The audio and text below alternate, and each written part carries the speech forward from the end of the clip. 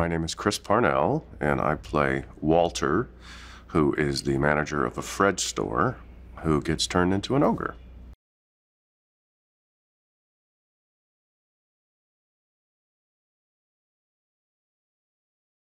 A lot of action and some suspense, some frights, um, a lot of laughs, um, lots of dazzling, amazing things for the eyes. Uh, um, you know, and some uh, some suspense. Uh, it's it's it's kind of got it all.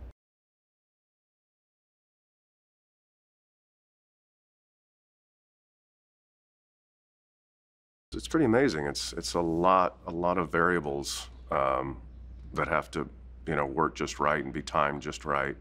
Yeah, I don't think I've I don't think I've ever worked on. I've certainly never worked on anything where you know I was made up like this this completely, and then just all the visual effects, all the special effects. Um, there's going to be, of course, a lot of CGI, and and then you had Slappy in there, and um, it's it's it's kind of amazing. You know, it's it's it's a lot. It's it's it's very cool.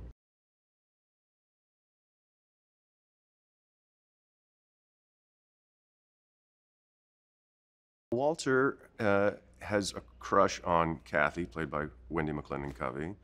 And so he's the manager of a Fred store, and, and we get to see a little bit of flirtation between them.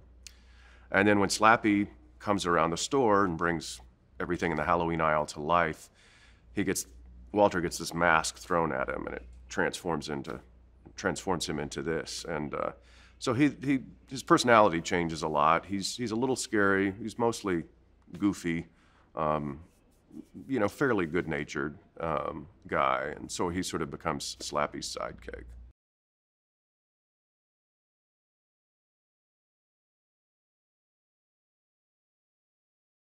It's about how Sam and Sonny inadvertently bring Slappy to life, and uh, and then Slappy's plan to take over the town. Well, not take it over, but to turn to turn bring Halloween to life by bringing all these Halloween decorations to life, and uh, and you know, and it goes pretty well. There and and the young people um, are trying to get the book away from Slappy and get him back into the book, and uh, there's lots of lots of craziness that goes on.